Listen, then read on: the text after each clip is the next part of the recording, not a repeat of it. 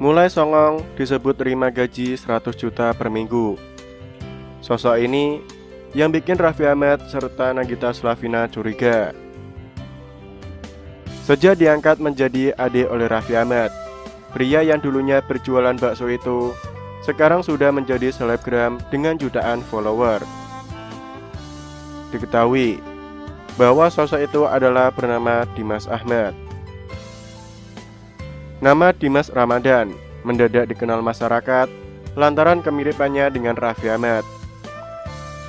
Bermula dari video di TikTok yang menjadi viral, Raffi Ahmad akhirnya menemui Dimas Ramadan dan menganggapnya sebagai adik. Tidak ingin hanya mengandalkan nama besar Raffi Ahmad, Dimas Ramadan bahkan mendapat tawaran dari Rita Amelia untuk mencoba dunia akting. Diketahui suami Nagita Slavina telah sepenuh hati memoles pedagang bakso itu jadi artis. Namun kini sikap Dimas pada klien justru membuat Raffi kecewa. Hal tersebut seperti yang terlihat melalui video yang diunggah di kanal YouTube Rans Entertainment pada Kamis 18 Maret tahun 2021. Dalam video tersebut terlihat Raffi Ahmad dan Gigi yang dibuat menunggu lama hingga terlambat menemui klien akibat Dimas yang akan pergi bersama mereka belum juga tiba. Dimas Ramadan akhirnya menemui Rita Amelia dan salah satu produser yang melakukan casting.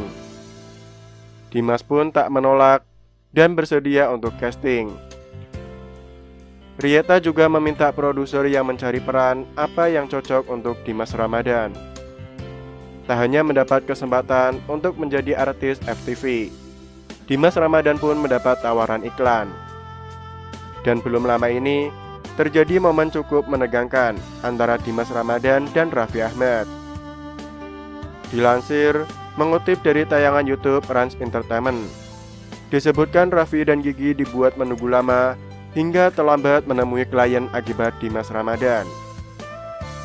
Setelah mulai syuting, Rafiq kembali dibuat kesal dengan tingkah Dimas yang tak berkonsentrasi dan beberapa kali melakukan kesalahan. Bagaimana pendapat kalian? Silahkan tulis komentar kalian di bawah dan jangan lupa klik tombol subscribe dan juga like-nya. Oke, terima kasih yang sudah menonton video ini. Sampai jumpa di video selanjutnya.